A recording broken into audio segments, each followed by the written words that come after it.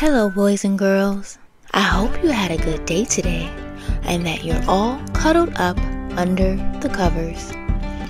Tonight's story is Pete the Kitty and the Three Bears by Kimberly and James Dean. Once upon a time, Pete the Kitty walked to the woods. Pete saw a house. Hello, anybody home? asked Pete.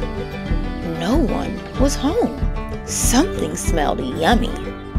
Pete saw three pizzas. The first pizza was too hot. The second pizza was too cold. The last pizza was just right. It was dynamite. Pete ate the pizza. Yummy. Then Pete saw three guitars. Let's jam, Pete said. The first guitar was too loud. The second guitar was too quiet. The last guitar was just right.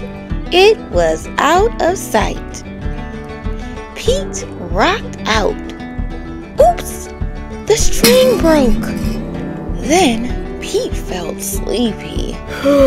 he wanted to take a nap. The first bed was too hard. The second bed was too soft. The last bed was just right. Nighty night. Pete fell asleep. Papa, Mama, and Baby Bear came home. Someone ate their pizza. Mine is all gone, said Baby Bear. Someone played their guitars. Mine is broken, said Baby Bear. Someone slept in their beds. They're still in my bed, said Baby Bear. The three bears growled. Pete woke up. Baby Bear was crying. Pete felt bad that he ate the bear's pizza. Pete felt bad. He played their guitars. Pete felt bad. He slept in their beds. Pete knew what to say. I'm sorry. I didn't ask to use your stuff, Pete said. Everyone makes mistakes, Mama Bear said.